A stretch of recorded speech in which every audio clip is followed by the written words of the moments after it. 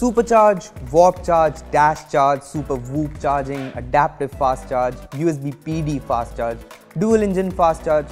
You get the idea. There's just a lot of fast charging technology out there. But which one is actually the fastest? Well, let's find out.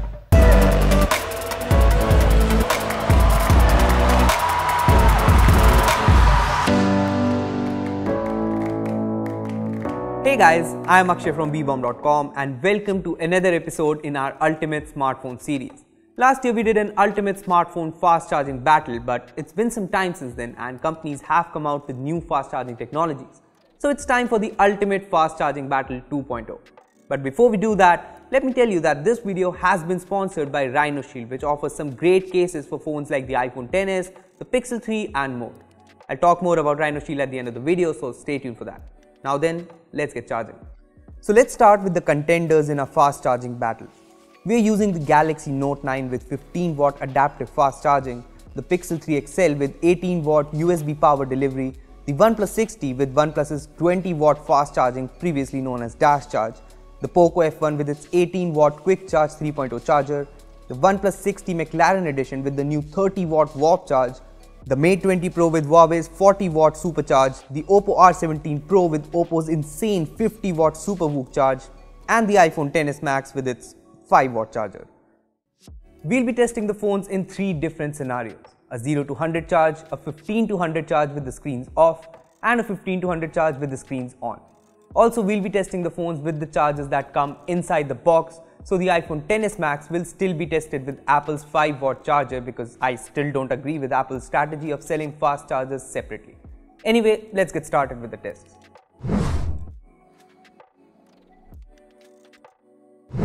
With the phones completely discharged, I connected them to their chargers. After that, it was all about waiting, but not for long. In just 14 minutes and 44 seconds, the Oppo R17 Pro reached 50%. That is just insane. I mean, at that time, the OnePlus 6T was at 25%, the 6T McLaren at 30%, the Mate 20 Pro at 40%, and the others were further behind. The iPhone XS Max, that was at 8%. Yeah. Anyway, if the R17 Pro hasn't impressed you enough, take a look at this. In just 40 minutes, the phone was fully charged. Yeah, Oppo has knocked it out of the park with SuperVOOC charging on this phone. I mean, I used to love Dash Charge, but after seeing this, I'm just stunned. Let's take a moment here to completely comprehend that the Oppo R17 Pro fully charges in just 40 minutes. Well, OnePlus has also improved upon Dash Charge with its new warp charging tech, but even though it's fast, it's nowhere near the Oppo R17 Pro. The 6T McLaren took 1 hour and 4 minutes to fully charge, which is obviously impressive, but SuperVOOC has just spoiled me. Anyway, the Mate 20 Pro finished up at 1 hour and 6 minutes, which is definitely impressive considering it has a massive 4200 mAh battery while the OnePlus 6T finished next at 1 hour and 21 minutes. After that, the Note 9 and the Poco F1 finished at the same time, followed by the Pixel 3 XL. I know you're wondering about the iPhone XS Max. That was at 61% after 2 hours and took 3 hours and 38 minutes to fully charge. I mean, that sucks for a $1000 smartphone, doesn't it? So the Oppo R17 Pro is obviously in the lead with the Mate 20 Pro and the 6T McLaren following behind. Anyway, let's move on to our next test, charging the phones from 15 to 100% with the screens off.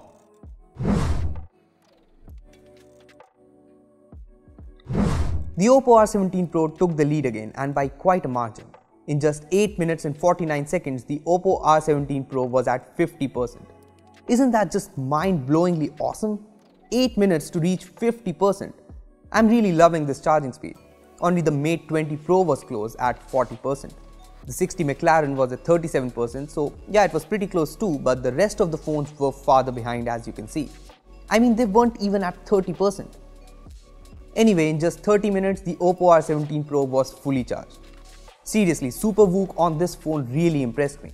It's amazing, it's the fastest charging tech I've seen and it has already spoiled me enough that I'm annoyed with my OnePlus 5's fast charging. The only phone that was even close at this point was the Mate 20 Pro at 87% and the rest of the phones as you can see are just nowhere near. So yeah, the Oppo R17 Pro definitely won by quite a margin. Next up, the Mate 20 Pro reached 100% in 49 minutes which is also pretty impressive even though it's not as fast as the Oppo R17 Pro. However, the Mate 20 Pro is charging a bigger 4200 mAh battery, so there's that. Anyway, by 57 minutes, the 6T McLaren was also fully charged.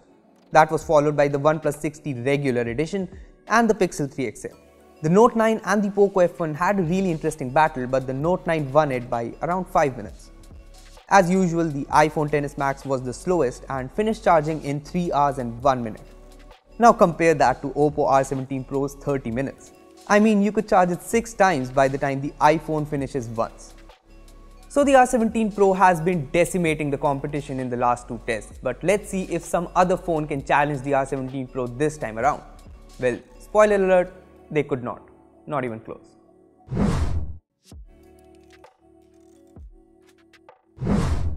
Well, in 9 minutes, the Oppo R17 Pro was at 50% and as you can see, no phone is matching up to it. And in 32 minutes, the Oppo R17 Pro was done charging. I know it's not surprising anymore, but it's definitely impressive. Talking about the rest of the phones, the Mate 20 Pro was at 70%, the 6T McLaren at 80% and all the other phones were below 70% at this time.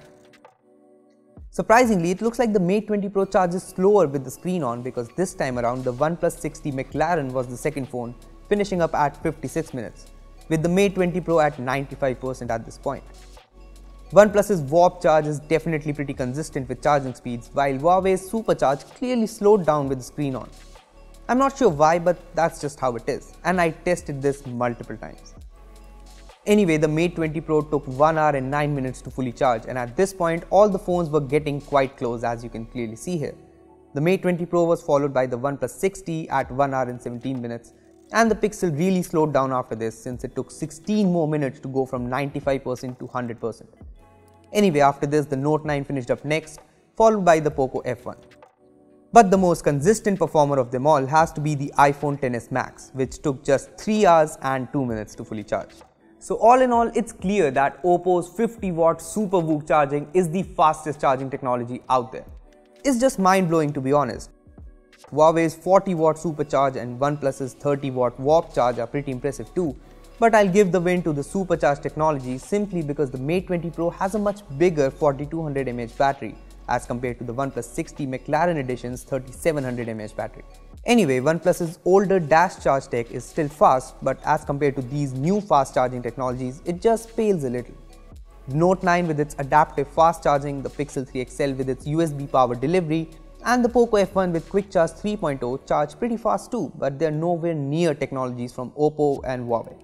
Lastly, there's the iPhone XS Max which charges so slow, it's almost cruel to include it among these much faster charging phones. Now let's talk about the sponsor for this video. Rhino Shield offers a variety of premium cases for almost all premium phones out there. We are showing you the SolidSuit case here from Rhino Shield which looks good, offers a lot of grip and every Rhino Shield case has military grade protection. Plus Rhino Shield also makes some pretty cool modular cases. There's the Crash Guard NX bumper cases and the Mod NX cases which are totally customizable. You can change frame colors, back plates, rim colors and even button colors. Cool right? Well, you can check out Rhino Shield cases from the link in the description below, so check them out.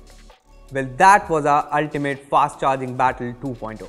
So what phones are you guys using and which technology is your favorite? Let us know in the comments down below. Also give this video a like and share it with your friends. Lastly, subscribe to our channel for more amazing tech videos. That's me signing off. Thanks for watching and I will see you in the next one.